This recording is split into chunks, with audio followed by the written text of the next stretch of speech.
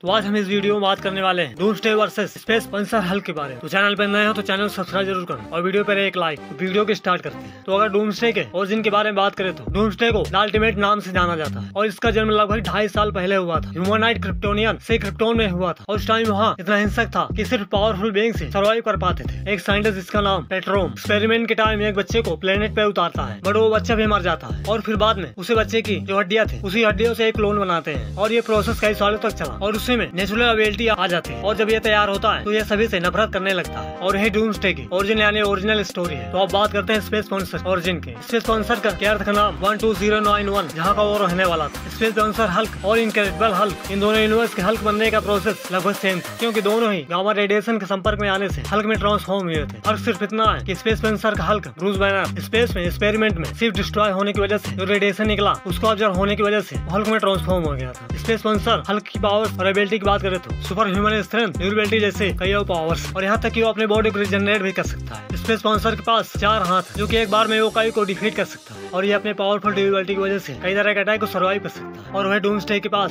super human strength super human durability super speed और यहाँ तक की माइंड कंट्रोल करने के जैसे और कई भी पावर्स और उसके बाद रिजनरेशन की पावर्स डूम्सडे ने सिर्फ अपने एक हाथ से स्टीली को हरा दिया था डूम्सडे के ऊपर डार्क साइड के ओमेगा बीम और सुपरमैन के हिट विजन का भी कोई फर्क नहीं होता है डूम्सडे को खाने पीने सांस लेने जैसे कोई भी भी चीजें से कोई भी मतलब नहीं क्योंकि ये एक्सपेरिमेंट से बना था डूम्सडे ने अपनी पावरफुल होने की वजह से सुपरमैन और ओराइन का दाया हाथ तोड़ दिया था डूम्सडे ने एक ग्रीन लैंडर्स को भी मार दिया था और जिस वजह से कई ग्रीन लैंडर्स डूम्सडे को मारने आए थे और वो भी डूम्सडे को नहीं हरा पाए थे डूम्सडे ने सभी को मार डाला था